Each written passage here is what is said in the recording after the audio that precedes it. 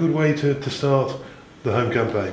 Yeah, definitely. I think um, the fans were, were amazing today, and they, they helped us get get the win. I guess like we came out second half. I thought we had a good 15 minute spell where we took our chances and put us three goals ahead, and yeah, we just took it well from there.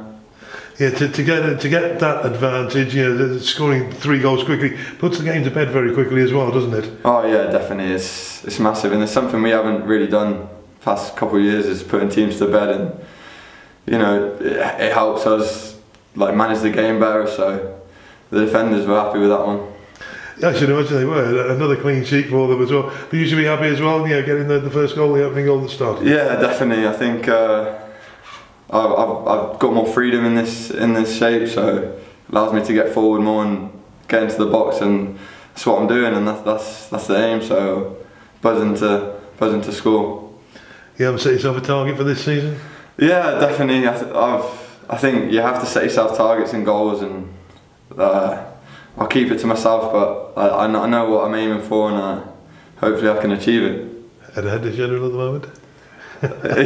May- maybe so, maybe so, yeah. But the more, the more, the more, the merrier. So hopefully they keep on coming. On, on a more serious note, yeah, so it, it's important for Harriers to, to get a good start under the belts. Two games, Yeah. two wins. Yeah, yeah, definitely. I think one game at a time. Just always focus on the next game. That's the most important game. So yeah, all, all, all eyes on Tuesday night against Brackley at home. So hopefully we can bring bring numbers and attack it at full force.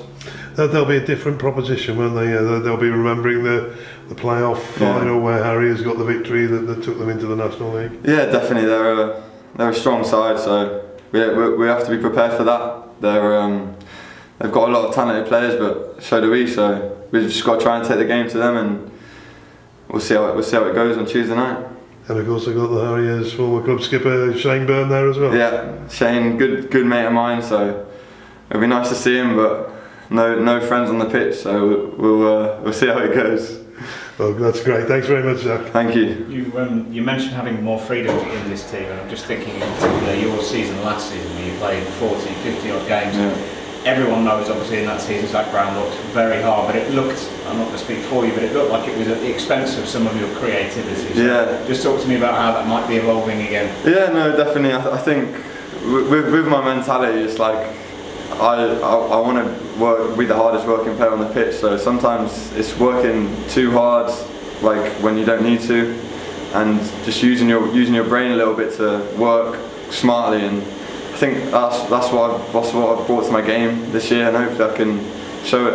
And I guess you can't underplay the importance of scoring the earlier season as well, kind of gets you off the mark, doesn't it? Oh no, definitely. Yeah, Uh, uh, like again, my, my goals, my goals in my brain is like let's let's score goals, man. I, I, and that's what I want to do.